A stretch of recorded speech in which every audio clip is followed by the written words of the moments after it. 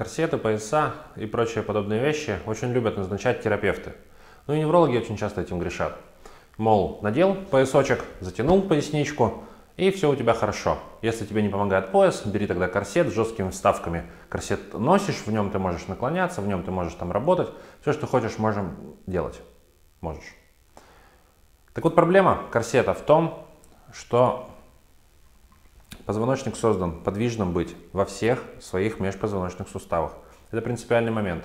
Если хоть где-то есть блокировка, там будет спазм, и этот спазм будет захватывать все новые, новые, новые части. Что для шеи, что для поясницы справедливо одно и то же. То есть заблокировался, допустим, только крестец. Ну, бывает от долгого сидения. Постепенно здесь будет спазм, прихватится нижний поясничный, потом еще один, потом еще один. В принципе, достаточно активная физическая жизнь, такие естественные простые блокировки, она же разблокирует. То есть посидел, потом где-то размялся, потом там в спортзале побегал, была блокировка, нет блокировки.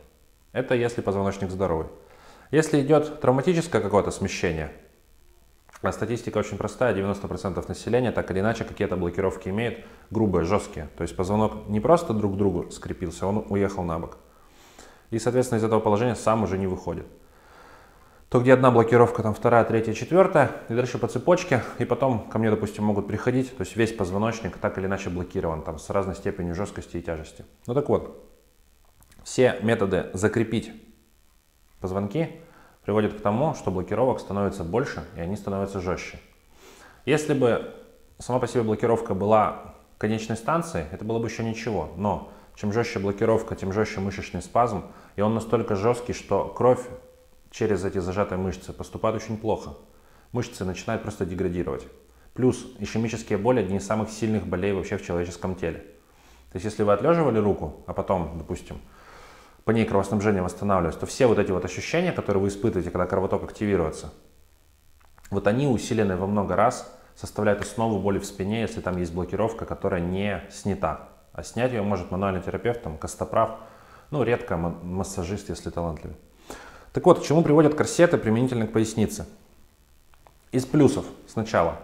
То есть, если, допустим, здесь есть щит, не щит, а как они, усы, ну, в общем, какие-то ребра жесткости.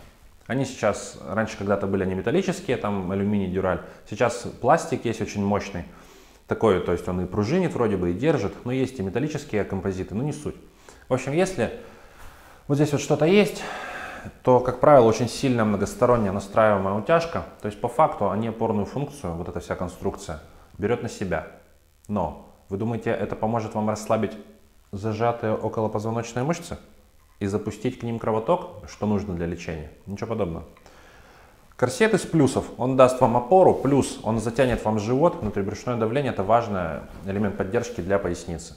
То есть то, что вы должны ходить прямо с втянутым животом, ну, при здоровой спине, при больной так очень трудно, конечно.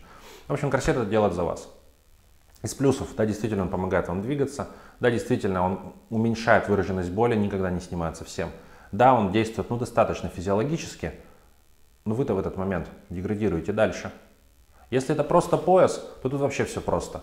Он утягивает, увеличивает внутрибрюшное давление, вообще не стабилизирует поясницу. То есть вот надев пояс, в принципе, вы создаете себе ситуацию еще более жестких блокировок. Меньше боли, меньше аккуратности, любое неосторожное движение приводит к тому, что я уже сказал. Блокировки идут дальше, дальше, дальше, дальше, дальше. И там, где в начале, допустим, после травмы или, как говорят, защемило спину, там свернулся один позвонок, поправить один сеанс. Но нужно прийти вовремя. Через три месяца на больничке там доходят до нейрохирургов, там уже вся поясница, где-то что-то в шее, уже боли под лопатками, ну весь позвоночник захвачен. В общем, плюсы выполняют часть работы за вас. Минусы выполняют часть работы за вас.